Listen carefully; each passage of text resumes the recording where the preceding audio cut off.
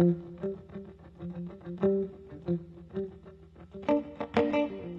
dry dock, uh, my responsibilities is to um, ensure that all the furnishings that has been specified and designed uh, gets delivered, uh, gets purchased, and uh, gets placed, and that we actually configure and set up the hotel as it should be ready for occupation.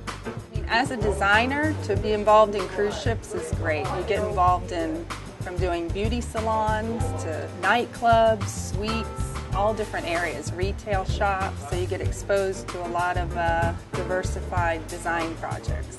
The items that are on board the ship that we're purchasing, they come from all over the world. You know, the, usually the designer specifies the items, and then we logistically see how how it works out to get them from point A to point B. Logistically, the ships are never at the same place all the time, and a dry dock is a short window to do a lot of work.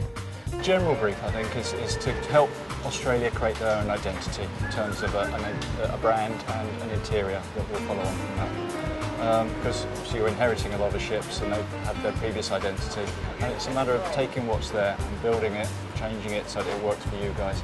Not only in terms of colour, things like that, but operationally as well. The colour in waterfront, we try to keep it um, simple and contemporary. That's why we try to use a lot of dark woods in here, which is kind of like bring everything a lot more cozier and more intimate. The dome it, it itself um, started off as a, as a, very strange room when it was uh, Ocean Village. It was uh, the gym was here. They put discos up here and nighttime things. It was a, a real mishmash, a real multifunctional room. New curtains, new carpets, repainting some of the ceilings, cladding the columns with a nice timber finish. Bring some timber in. Timber always makes feel, things feel friendlier and warmer. People really res respond to timber well. And then when the furniture goes in, there'll be a selection of sofas and chairs, all sort of a, a, a nice mix and match so that uh, there's something for everybody. I think the Aussie ships is um, younger, you can feel the energy, and it's not too uh, colourful, but very sophisticated.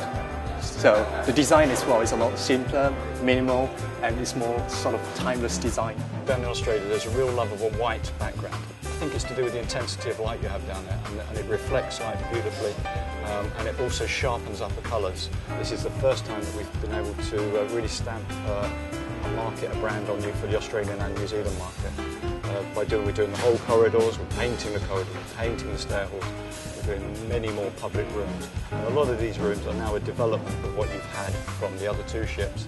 You plan a project and then you see it implemented in such a short period. It might be two weeks, three weeks, and your designs from your beautiful renderings come to life. And it's a fast process. It takes a lot of planning, but it's very re rewarding.